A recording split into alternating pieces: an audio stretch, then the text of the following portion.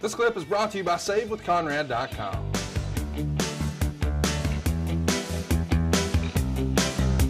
The big monsters that they like to feed to Hogan. I think we're going to get this backstage skit next that you like. You want to hear Rona Barrett interview Miss Elizabeth? Yeah, it, it was. There was nothing that entertaining about it, but it's worth tracking. Track it. Oh, here, here we go. We're tracking. With me now, the First Lady of the World Wrestling Federation, the lovely Miss Elizabeth. Hello, Rona. Elizabeth, I must say I've had the pleasure of interviewing some of the most glamorous stars in Hollywood, but some of them kind of pale by comparison to your beauty. You really are quite stunning. Well, thank you, Rona. Elizabeth, we've missed you. Where have you been? You haven't nearly been as active in the World Wrestling Federation, and um, you seem to have disappeared altogether from ringside. What happened? Well, it's true that most of my participation in the World Wrestling Federation these days has been in an advisory capacity away from the ring. But why, Elizabeth? Your fans are really so disappointed. But that's precisely why I'm not as active. I don't want to disappoint my fans. I don't think I understand. Explain. Well, in the past, there were times at ringside when I could have physically helped, but I was afraid. And not afraid of getting hurt, but afraid of not being able to help enough. And thus, my fans would be disappointed. Elizabeth, I think your fans uh, would argue that your presence at ringside would be help enough. Well, you may be right, Rona. You know, lately I've thought of nothing else but returning to ringside, and if I ever do, you're going to see a far more active Elizabeth than you've ever seen before. Well, if you do, I personally will look forward to that. Thank you so much for joining us, Miss Elizabeth. Nice Thank to you. see you. Nice Thank to be with you. And now back to you, Sean. That was fucking terrible. Wasn't it? And the only way it got worse is this. at Mr. Perfect's record, and I just have to say, it's pretty impressive. But you know something, Sean? No matter what this guy thinks, nobody's really perfect. Everybody has flaws. Everybody makes mistakes. And after this match is over, I think you'll agree that I severed his perfect record at a pretty good clip. Cutting remarks from Brutus the Barber Beefcake. Here's what's great about this. Okay. In the promo, he's saying nobody's perfect. Everybody makes mistakes, but he's going to sever the perfect record. And he tries to clip the papers that Sean Mooney is holding. Mm-hmm. And the fucking heads clippers don't cut them. Hmm. It's outstanding to me that we're trying. Nobody's perfect. Everybody makes mistakes like this one. Watch, I can't cut this fucking paper with my razor sharp shears you're supposed to be scared of. Well, you know, the surprising thing about all that is that those are pre-tapes. Yeah. And and they, I'm I'm surprised that they use that one because they would many times they would redo pre-tapes I'm over not- and over again until they got them right. No, what that tells you is it was a Bruce Pritchard one, and he says, "Got it. That's enough." Anybody got a doob? Who's got a doob? Where's Roddy? He's probably got a doob. Oh, By the way, this is where years ago I first started my Brutus the fucking barber beefcake bit that got everybody fired up. Because I still can't believe you've built all you've got all of this equity built into Mr. Perfect. Years worth. He's never lost. And his first loss is not going to come to Hulk Hogan. His first loss is not going to come to the newly anointed Ultimate Warrior. Nay, nay. It's Brutus the fucking barber beefcake. Doesn't make any sense. makes plenty of sense. No, it doesn't. Yes, it does. Tell me. Hulk Hogan. What? Hulk Hogan. They were buddies, and I'm, I'm Hulk Hogan. Listen, Vince ruled things, unlike you know what happened when Hogan went in WCW. But there were times that Vince would do things just to appease Hogan, and I have a feeling this was one of those.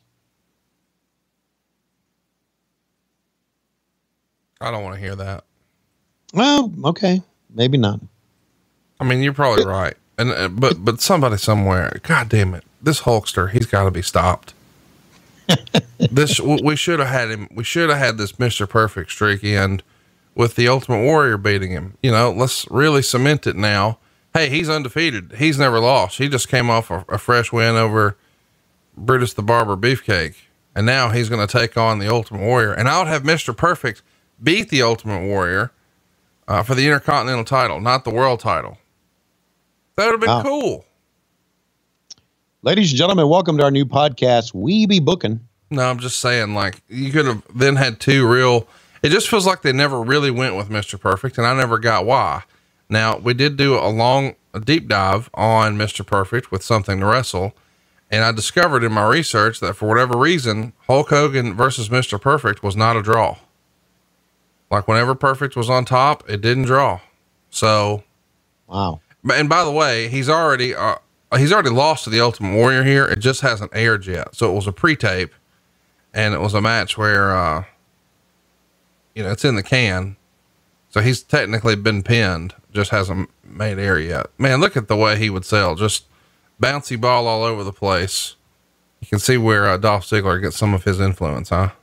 Yeah, and you can also see I in in many ways, uh, and I know he was wrestling at this time, but uh, Shawn Michaels sold like that too. Oh, for sure. Those three are the are, are always sort of mentioned in the same vein there.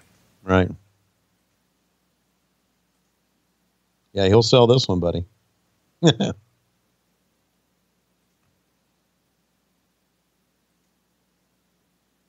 yeah, you, you can tell the fans are really not into this Brutus the Barber Beefcake stuff. Although I thought it was pretty cool. I like the hedge clippers, man. I, I liked all that.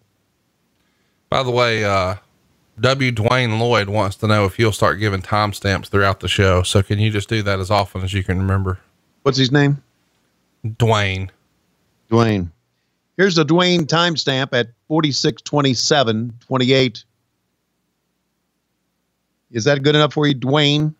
Yeah, just do it as often as you can. Let's just annoy him with it. You know, one of our uh, biggest fans of listening to this podcast, Tony Khan, uh, told me that uh, he said, I don't listen to it much anymore because I don't have time to sit down and, uh, and watch the shows with you. right. And I told him, and I'll tell everybody else, you don't necessarily need to watch the shows to enjoy this podcast. No, if you we- can. You, a lot of people listen to it in the car. They just listen to the banner back and forth and us talking about things. So, I mean, don't think that you've got to listen. You got to watch, do a watch along. Watch along enhances it, but it doesn't. It's not necessary. And wait, who are you having this conversation with? Tony Khan. Yeah, that's not why he's not listening. Yeah, he's got too much to do. No, he doesn't like me. Oh, really? Yeah. Well, he's the only one that doesn't like you then.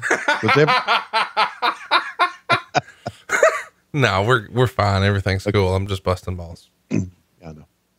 Which we, is kind of what you do 95% of the time here.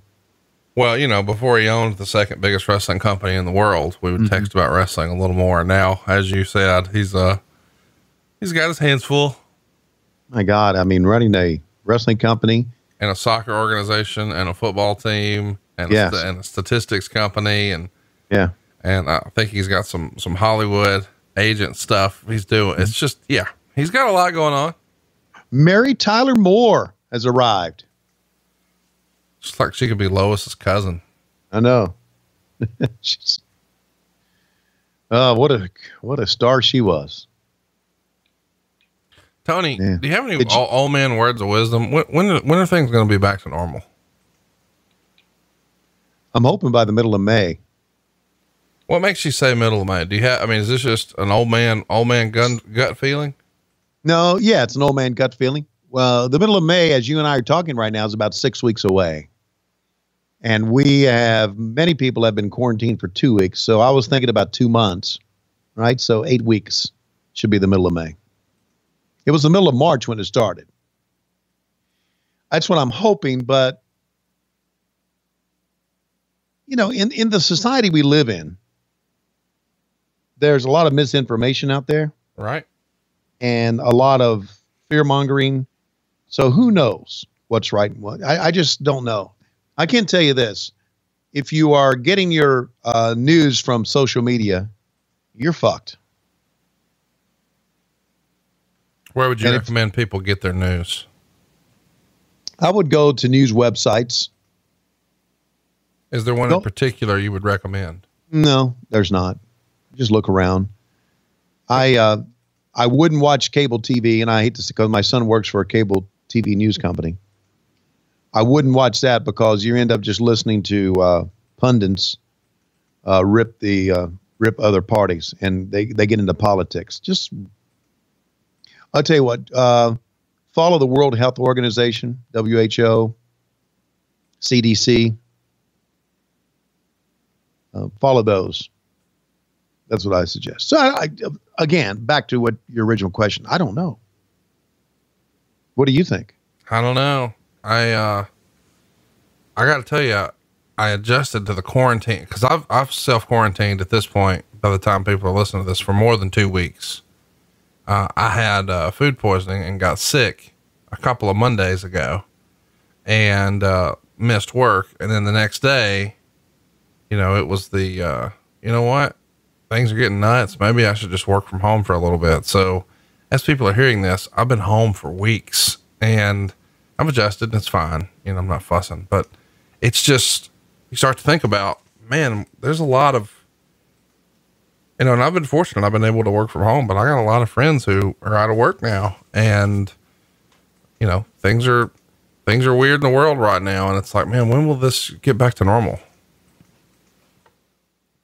I don't know, but I know there's this there's a, a couple of my friends and I've been talking that eventually, eventually, uh, there's going to be anarchy, and I Oh. don't mean anarchy as far as what happens on the movies.